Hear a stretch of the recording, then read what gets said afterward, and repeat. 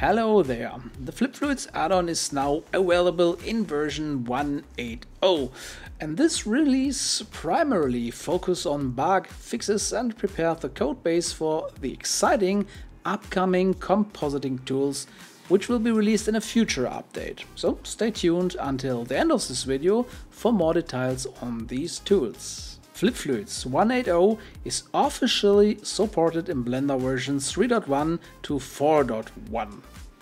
We have tested Blender 4.2 Alpha, but due to some known issues it is not fully compatible at the moment. A significant change in this version is the handling of whitewater. Previously, we used instances for rendering, but now we have switched to geometry nodes point cloud rendering at the new default.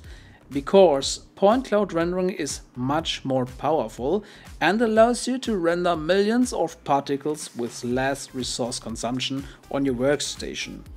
It is also performing much better than instances when working in the 3D viewport. You will find all the settings in the FF Motion Blur Whitewater modifiers. The same modifiers and geometry node networks that also are used for motion blur. A quick tip, point cloud rendering is currently not possible with Eevee. If you need to use Eevee, you enable instancing in the motion blur modifier. But remember, Eevee will perform much slower compared to the Cycles engine when handling a large number of particles. For more details on how this affects your older blend files, please refer to the full release notes linked in the video description below.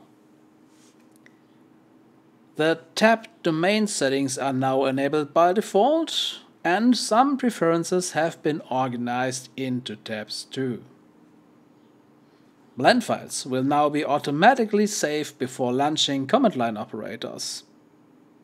And the remove motion blur operator has been removed as it is no longer relevant. Instead, we have added an on-off toggle to the Flip fluid sidebar.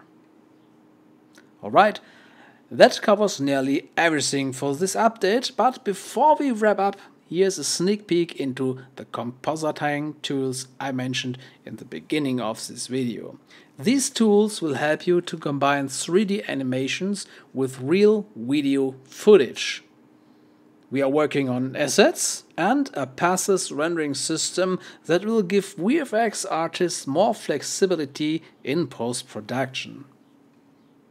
Don't miss any updates on this development and make sure to subscribe to our channel. That's all for this time. Thank you for watching.